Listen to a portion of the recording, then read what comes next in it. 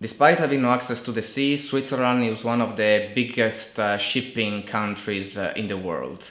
Uh, our investigation focused on the track record of Switzerland when it comes to ship recycling. In the last 10 years, at least 90 Swiss ships uh, were broken apart on the beaches of India and Bangladesh.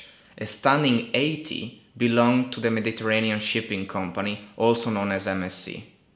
So, to understand how this uh, shipbreaking industry works, I went to Alang in India uh, and wanted to go and see how it works, which is not easy because the government does everything it can to prevent people free access to the yards and to the sites where the work happens. Before I arrived, there was an accident on the Honey shipbreaking yards. It's a yard that has been used by the Swiss company MSC before, and it has a green reputation. Uh, so it comes to show, and it showed clearly to me, uh, also talking to workers and, and other people connected to the to the industry, that these efforts to have certificates showing that they're complying with the better standards do not provide protection neither for the workers actually nor for the environment. The shipping industry is rarely held accountable for the negative impacts uh, caused by shipbreaking in the global south.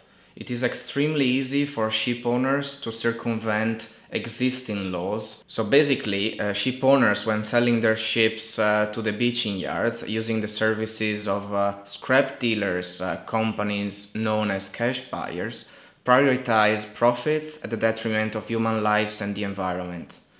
I went to Alang in India to see how shipbreaking works, but I also visited Chittagong a couple of years ago, uh, one of the other beaches in South Asia, in Bangladesh, where shipbreaking takes place. I spoke to Mohammed Ali Shaheen, one of the uh, civil society people that are working on the issue in Chittagong, and he said, I really, or we really have a problem understanding why Swiss companies would be sending their ships for breaking, even to some of the worst yards in Chittagong.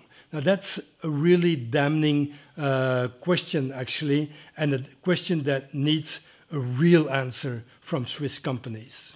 An answer that I didn't get from MSC when I asked them.